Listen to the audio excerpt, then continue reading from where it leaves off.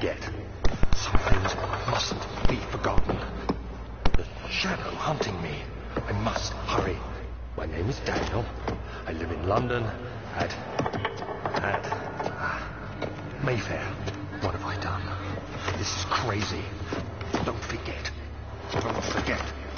I must stop him. Focus. My name is... is... I am Daniel.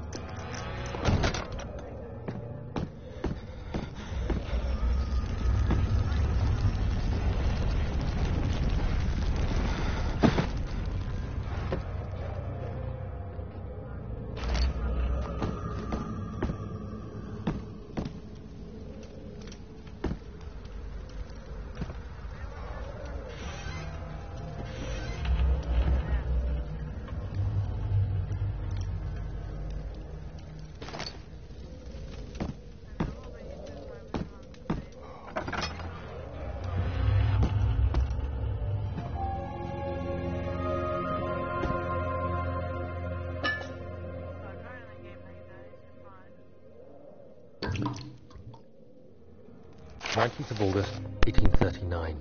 I wish I could ask how much you remember. I don't know if there will be anything left after I consume this drink. Don't be afraid, Daniel. I can't tell you why, but know this. I choose to forget. Try to find comfort and strength in that fact. There is a purpose. You are my final effort to put things right. God willing, the name Alexander of Brennenburg still invokes bitter anger in you. If not, this will sound horrible. Go to the inner sanctum, find Alexander, and kill him. His body is old and weak, and yours young and strong. He will be no match for you. One last thing. A shadow is following you. It's a living nightmare, breaking down reality. I have tried everything, and there is no way to fight back. You need to escape it as long as you can. Redeem us both, Daniel. Descend into the darkness where Alexander waits and murder him. Your former self, Daniel.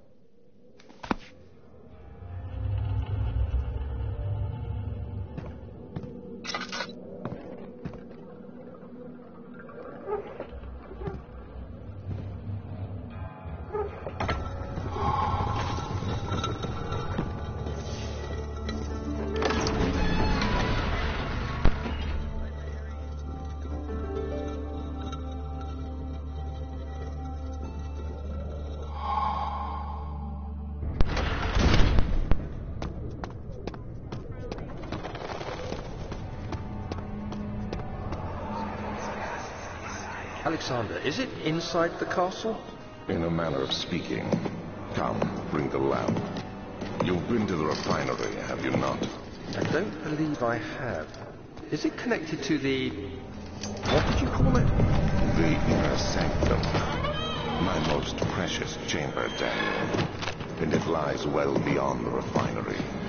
In fact, it lies beneath the very stone of Brennenburg.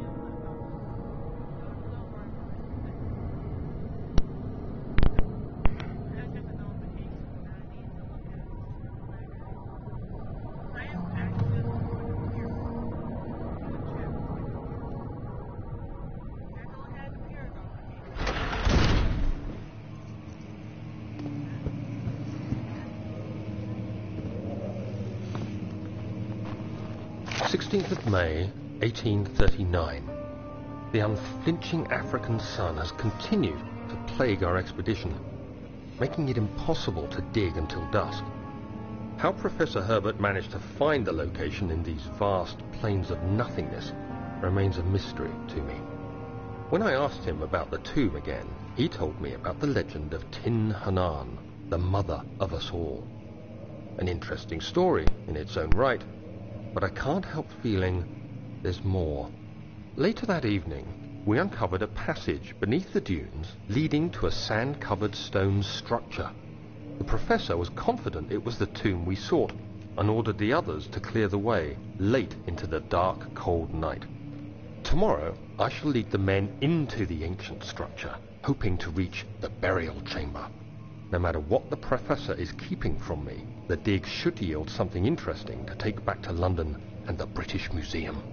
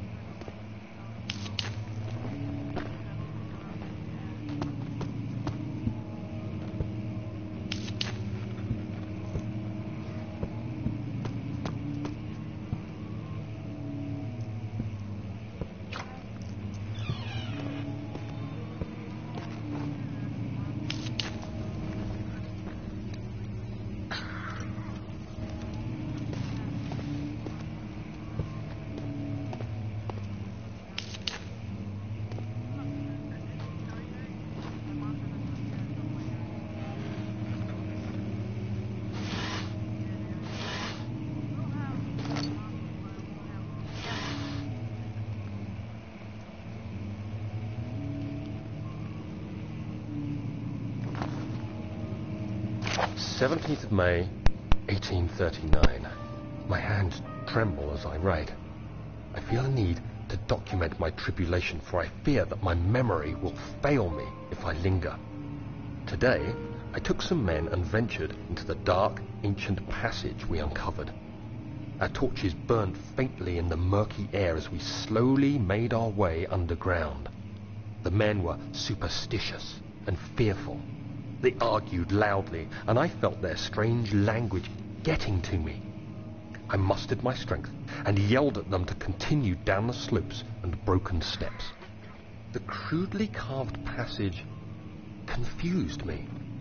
It looked much older than the 4th century structure we had expected.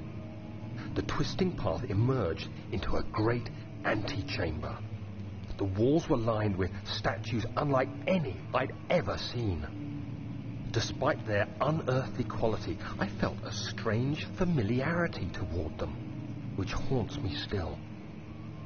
At the far end of the chamber, a great slab of stone sealed off whatever lay ahead.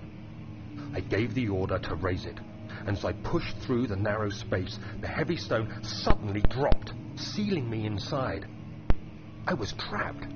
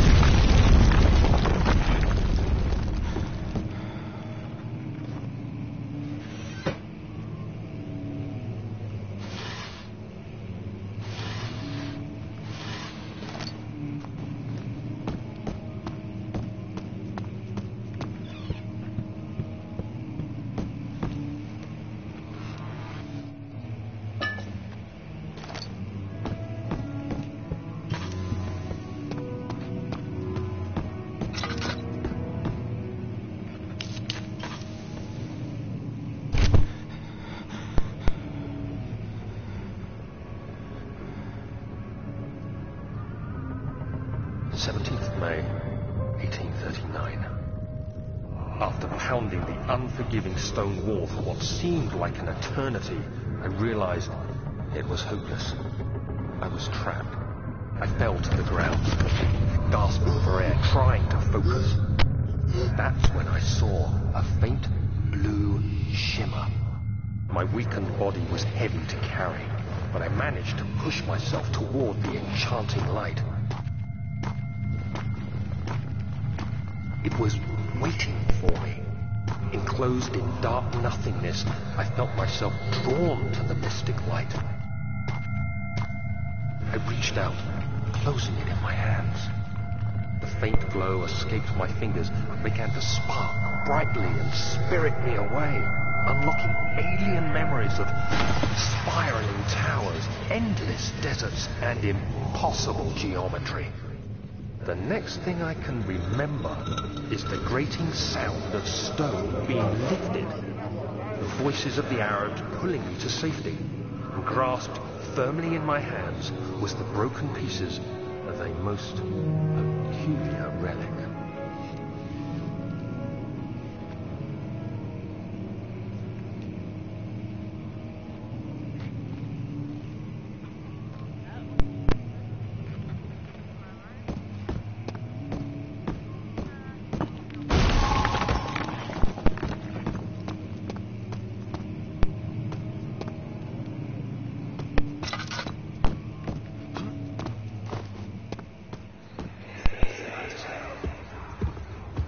You have to be swift when you activate the first one. You hear that? If it stops, you'll have to start over. Isn't all this a bit excessive? You can never be too careful, Daniel.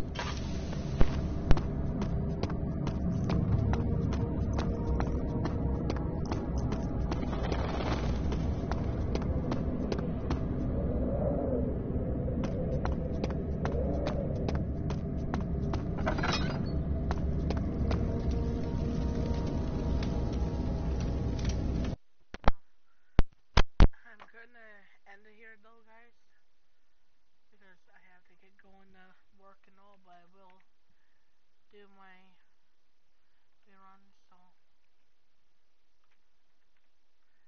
And here is my first team. So you guys can uh, look at, like you get, you guys can look at any of these streamers. You guys are always welcome to. If you guys ever have time, you guys can check them out if you want. And we have in my my team we have Dashboards Gaming, a poster. Well, it's not my team owned, but I'm part of it, so I feel like it's part of me as well, you know. And a part of my team, and I'm part of theirs. We're kind of like one family kind of team. Which ha and of course we have Dashboards Gaming, a poster Rapid Matthew, nice birthday, and famous gamer Ray, Kajuxi, Lucky Sana, Neilheimer, Dakar Ray, Oatmeal 55, and Spell 2355 in it.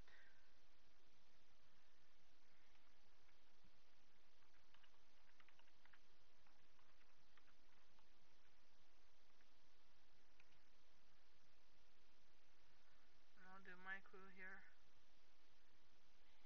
Yeah, not spell it right. Not spell it right.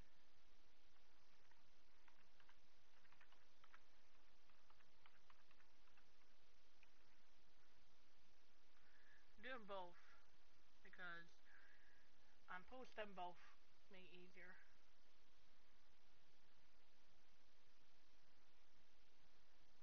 There we go. And these are my group. This is my group that I made all by myself, which has Epicness Oh Yeah, Royal Food Architects, Valley Blue, Little J04, Ice Cream 767, Globetrotters, The Storm, and I Paint Creatures. And this is my second half group, which is This is Emperor's first. Mean, both to work out together. Then my friends Mary, Captain Books, Light ASMR Avatar, Sunstorm TV, and also Gaming Direct for You. Very awesome friends. You guys want to, you guys can stay and watch my uh, reruns. Just wanted to tell you guys that.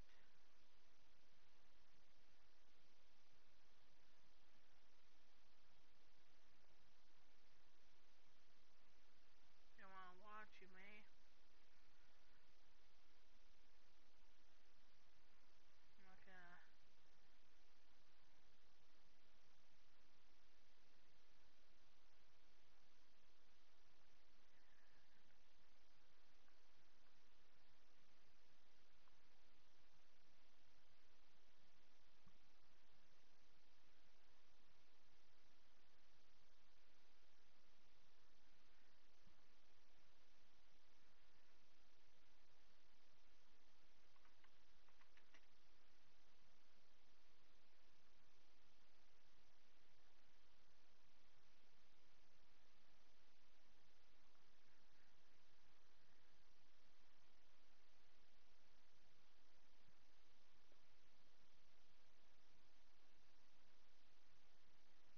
Sorry guys, just doing something quick.